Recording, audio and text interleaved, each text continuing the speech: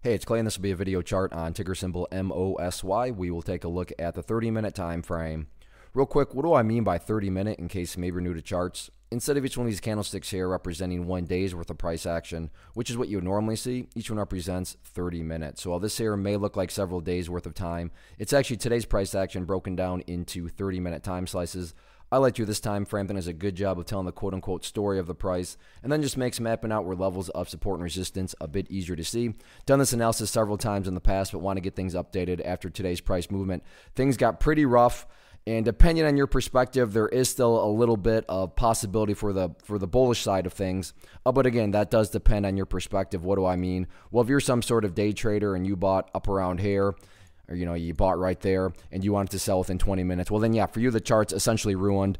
And I, I, would assume that you've been stopped out. If you're still in then i would have to question your actual trade strategy going into it. But that's a whole nother video. Point here being from the day trading perspective and depending on where you bought uh, you know th- this chart could look pretty rough. Now on the flip side if you're a day trader and you bought right here or right there well then yeah you're actually sitting in the green right now.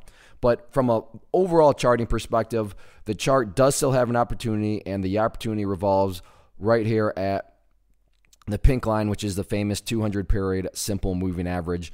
That's a level where even if you have just a basic understanding of charts, I'm sure you've heard of the 200 period, and you know that when the price is up above it, you want to see it act as support. And to be fair and to give credit where credit's due, so far so good. This level is indeed acting as support. So not only is it very important for the price to hold above that level, uh, for the very you know straightforward reason that it's a key level of support, but also just think about if the price actually doesn't hold above it if the price were to actually fall down below that level and just separate to the downside, what would that be doing to the price at that point in time? That would literally be putting the price right back to essentially where it was before the real nice move, you know, occurred. The nice move I'm referring to is just this right here. I mean, I think we'd all agree that there was a nice move. And not to insult your intelligence, but price movements that go back to where everything all started, not exactly a sign of true strength.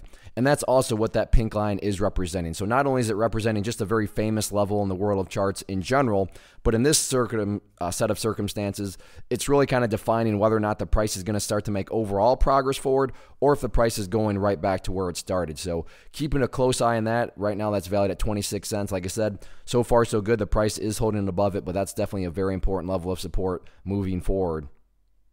One of the biggest questions I get is, hey Clay, how do you find the stocks that you trade? So what I've done is put together a free resource guide where I talk about the tools that I use to locate stocks that I find interesting and think may have potential. So if that sounds like something that could add value to you as a trader, then click on the image that is up on the screen right now and I will email you the guide. The guide itself is very short and to the point, and best part, it's completely free.